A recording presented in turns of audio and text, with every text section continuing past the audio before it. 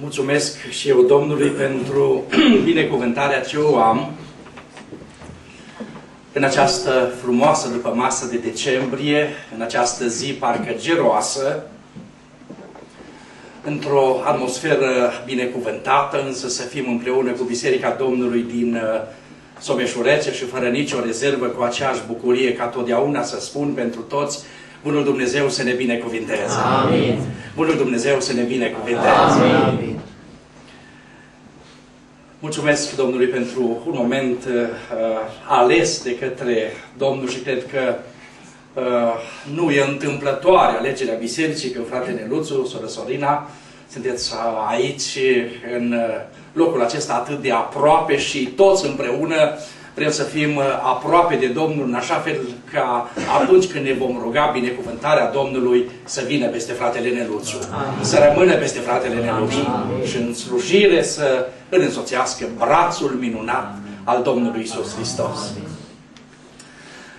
Să uh, folosim foarte eficient timpul și de aceea haideți să ne uităm la textul acesta frumos și voi citi încheierea versetului 5 din textul acesta, 1 Timotei, capitolul 3, unde cuvântul lui Dumnezeu spunea cum va îngriji de biserica lui Dumnezeu.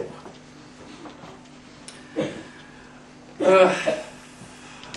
două adevăruri voi încerca să le prezint pentru fratele Neluțu și pentru biserică în uh, această seară, folosindu-mă de adevărul acesta, responsabilitatea noastră de a îngriji Biserica lui Dumnezeu.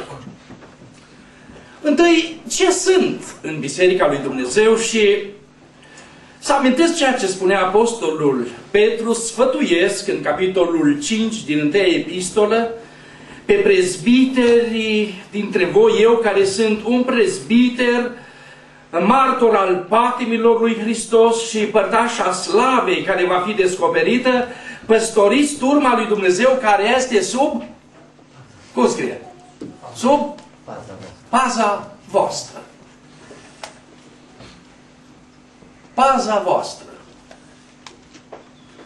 Când spui pază, ce ești? Paznic. Acum, frate Neluțu, tu ai terminat institutul. Uite, am venit de la Cluj și președintele, și secretarul, și păstorul, și toată biserica să mai facem în seara aceasta un, un paznic. Așa scrie, care este sub paza voastră. Din câte vizite am făcut în familii, când îi întrebi pe copii ce te vei face când vei fi mare, toți spun doctor, profesor, pastor, niciunul nu spune paznic. Însă, iată, cuvântul lui Dumnezeu ne spune turma peste care Dumnezeu v-a așezat să fie sub paza voastră. Să știți că nu uite neglijat acum meseria aceasta de pasnic. Am citit că în Statele Unite ale Americii, cum e criză, s-a scris în mass media că la o școală se caută un post de pasnic. Și scria în mass media, știți câte cereri s-a depus pentru postul de paznic? 700 de cereri. Și mulți dintre cei care au depus cererile pentru acel post spune că aveau studii superioare. Ce căutat era postul acela de pasnic. Nu e umilitor să fii pasnic. Ce sunt în Biserica lui Dumnezeu? Îmi place gândul acesta. Nu sunt proprietarul. Sunt pasnic. Dacă vrem încă o dată să știm, proprietarul este El. Este El. De aceea a proprietarului să fie slava. Amin. El e proprietarul. Rugați, spunea cuvântul lui Dumnezeu, pe Domnul secerișului să scoată lucrători la secerișul? A lui e secerișul. Mergeți și voi și lucrați în via mea. A lui este via. A lui este biserica. Și pe inimile dumneavoastră nu scrie numele nostru, însă pe inimile dumneavoastră este numele Isus Hristos Domnul. El este proprietarul. Eu sunt pasnicul. Sub paza voastră. Și nu e umilitor să fii pasnic. Știți de ce nu e umilitor? Nu e umilitor să îngrijesc aici unde proprietarul acesta vede și zi și noapte și nu dormitează. Știți de ce? Pentru că știți cine este proprietarul. A venit la ei săi și ai săi nu l-au primit. Dar tuturor celor ce l-au primit le-a dat dreptul ce să facă? Copii ai lui Dumnezeu. Proprietarul este Tatăl meu. Eu îngrijesc în Biserica Dumnezeului celui viu, unde Tatăl meu e proprietarul. Și aceasta mă umple de bucurie și aceasta mă face să stau cu demnitate și să fac slujire așa cum mi se cere și să spun tuturor proprietarul, aici unde eu sunt chemat să îngrijesc, este Cel care este Tatăl meu, glorie Lui. Amin. Ce trebuie să știe? Deci paza că El, Tatăl meu, este proprietarul. Ce trebuie să știe un pasnic? Să știe corect timpul. În instituția unde paza nu știe corect timpul, vin când vor și pleacă când vorbește nimeni ce acolo străjerule care ești de pază, să strigă de pe înălțime, mai este mult. Aleluia! Mai este mult din noapte și străjerul Sana. știe cât e ceasul, știe cât e timpul și străjerul răspunde. Sana, străjerul răspunde, mai este puțin, vine dimineața, Gloria dar încă este tot noapte. Unul care este de pază știe corect timpul. Și mă rog pentru fratele Neluțu Dumnezeu să-l binecuvinteze. Să fie cel care să îngrijească Biserica Dumnezeu cu mulțumire aceasta. Tatăl meu este proprietarul a Bisericii lui Dumnezeu. Eu lucrez aici împreună cu ceilalți frați, cu umilință, cu smerenie, dar Tatăl meu care vede totul, cunoaște totul, știe totul, Tatăl meu care veghează asupra mea în călătorii și zi și noapte, îmi numără pașii vieții mele de priviag, adună lacrimile mele. Tatăl meu este proprietarul.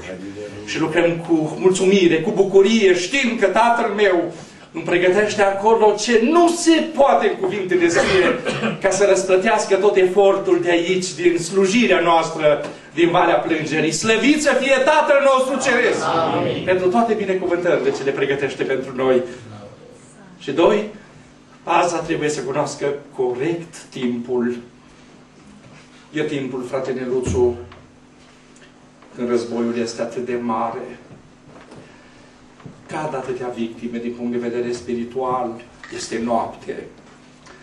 Este vremea când să ne vadă Dumnezeu în cameră cu mâinile ridicate. Alegeți în continuare locul unde vei sta înaintea lui Dumnezeu. Și poate, sora Sorina, uh, se va uh, gândi oare ce este neduțul și să treacă o jumătate de oră, o oră, o de câte ori trece prin astfel de evenimente și stăm cu mâinile ridicate pentru ca cei care sunt frații noștri, surorile noastre, despre care avem responsabilitate să aibă biruință în lupta cu păcatul, să nu fie victime, ci să avem bucuria că ajungem cu toții dincolo, pe malul binecuvântat al Împărăției lui Dumnezeu.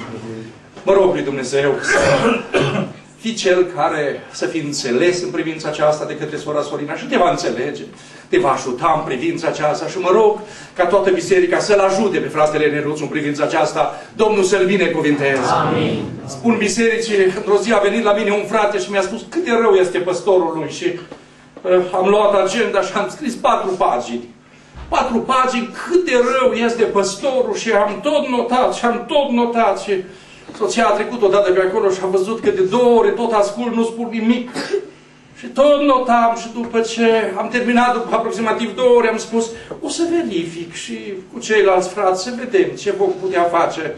Dar înainte de a pleca, haide să facem o rugăciune. Și ne-am plecat amândoi să ne rugăm. Și ne rugăm amândoi, spun biserica aceasta, și ne rugăm și ne rugăm și uneori te lupți în rugăciune. Alte ori Domnul face surpriza aceasta că Parcă e rupere de nord din punct de vedere spiritual. Și a început Domnul să dea hară rugăciune și cercetare și după vreo 20 de minute de stat pe genunchi, vorbire în alte limbi, îl aud pe fratele că se roagă, Doamne, bunii păstorul și rău sunt eu, bunii păstorul, rău sunt eu, și tu deja spunea. S-a terminat rugăciunea și l-am întrebat, pe care adevărul? Cu capul plecat, cu lacrimi, a spus, adevărul e cel care l-am spus, pe genunchi, pe genunchi. Să grijești Biserica lui Dumnezeu, să știi ce ești și să știi ce să faci și imediat mă opresc. Ce să fac în Biserica lui Dumnezeu? În uh, Evanghelia după Ioan, ce să mai fac în Biserica lui Dumnezeu, fratele Luțu, capitolul 19, a venit la Pilat uh, Iosif din Arimateia să ia trupul Domnului Isus de pe cruce, să-i dea voie și scrie aici cuvântul lui Dumnezeu că i-a dat voie să ia trupul Domnului Isus. Și Iosif din Arimatea l-a luat și l-a învelit într-o pânză de in. Ce este trupul Domnului Isus Hristos astăzi? Ce este? Biserica. Ce învăț în seara aceasta să fac cu trupul Domnului Isus Hristos? Să îmbrac trupul Domnului Isus Hristos, biserica, în haine frumoase de in. Și ce sunt acestea? Spunea în Apocalipsa faptele neprihănite ale Sfinților. Cu mine, frate Neluțu, să fie mai îmbrăcată biserica în fapte frumoase, mai îmbrăcată biserica în haine de in, mai îmbrăcată să fie văzută de cei din afară și mă rog Domnul să te ajute la aceasta. Amin. Și pe când Iosif din Arimatea l-a învelit, a venit și Nicodim și el avea 100 de litri de uh, aloi, de smirnă și Nicodim a spus, e adevărat că e mort trupul Domnului Isus Hristos, dar chiar dacă e mort, trupul Domnului Isus Hristos merită să miroase frumos. Trupul Domnului Isus Hristos, biserica astăzi nu este mort, este vie biserica Domnului Isus Hristos.